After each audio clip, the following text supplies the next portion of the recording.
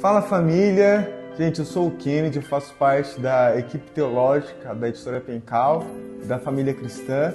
E hoje a gente está aqui né, celebrando aí um mês da Reforma Protestante, né, 506 anos da Reforma. Nós vamos falar hoje sobre o sola fide, que quer dizer somente a fé.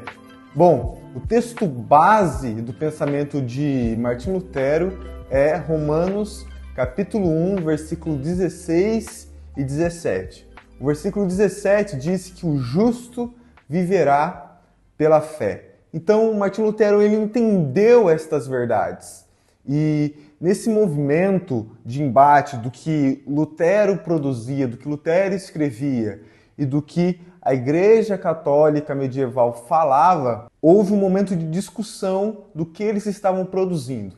Eu quero trazer para vocês aqui uma citação do próprio Martin Lutero sobre essas discussões. Porque o termo sola, ele veio justamente para falar que era somente isso. Então era somente Cristo, era somente a fé, somente a graça. E tudo isso, os cinco solas, estão relacionados à salvação. Então, ele queria mostrar que era a única coisa que poderia nos fazer serem pessoas salvas é somente a fé em Cristo. Bom, então, o que que Lutero diz? Ele diz o seguinte: quero mostrar que o que eu quis usar o termo sola, embora em Romanos capítulo 3, versículo 28, eu não tenha usado sola, mas solum, que é uma palavra do latim.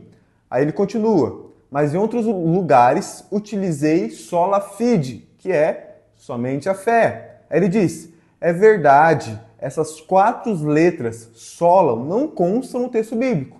A gente sabe que a palavra sola não está no texto bíblico. Mas ele continua dizendo: mesmo assim, elas contêm o sentido do texto. E quando se quer traduzir com clareza e contundência, é preciso incluí-las. Fecha aspas.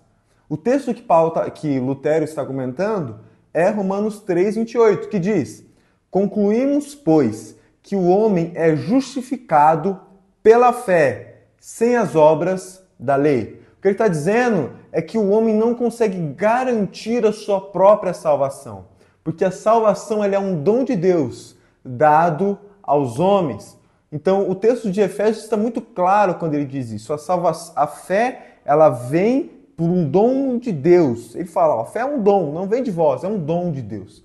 Então, é isso que Lutero está querendo evidenciar com somente a fé. Nós não somos salvos pelas obras, nós não garantimos a nossa salvação, não é comprando um terreno no céu, não é pagando indulgência, não é, ser, é jejuando um pouquinho mais, não é pagando penitência, mas ele diz, é única e exclusivamente pela fé.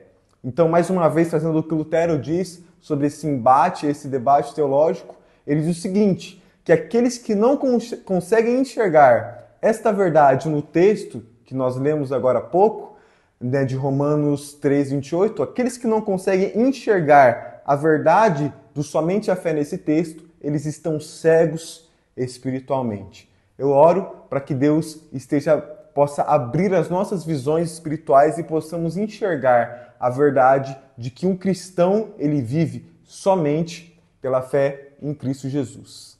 É isso, meus irmãos. Então hoje nós falamos sobre somente a fé, nós já falamos também sobre somente as escrituras. Então fique aí ligado no nosso canal, ative aqui as notificações, se inscreva para que você fique por dentro dos nossos outros vídeos falando sobre os outros solas da reforma protestante. Deus abençoe.